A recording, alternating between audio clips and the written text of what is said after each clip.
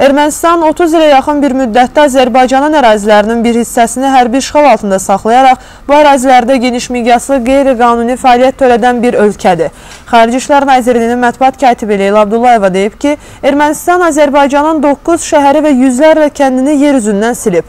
Bu ərazilərdəki tarixi, mədəni, dini abdələr viran qoyulub, talan edilib. Bu ölkə işğal altında saxladığı ərazilərdə törətdiyi məqsədyönlü dağıntıları gizlətmək üçün 10 illiklər ərzində bu ərazilərə UNESCO missiyasının səfərinin qarşısını alıb. Bu fakt UNESCO-nun 2005-ci ildə dərc etdiyi fəaliyyət hesabatında aydın şəkildə əks olunub.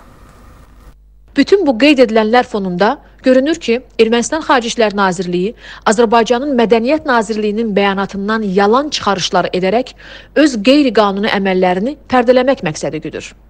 Lakin qonşu ölkənin rəsmi qurumu unudur ki, Ermənistandan fərqli olaraq Azərbaycan tarixi mədəni irsə dini və etnik zəmində ayrı-seçkilik etmir.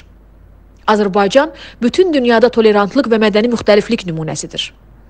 Ermənistan Xarici İşlər Nazirliyinə tövsiyəmiz budur ki, ətəyinə yalan, uydurma, iftira dolu daşları yığmaqla özünü daha da dərin və çıxılmaz vəziyyətə salmasın.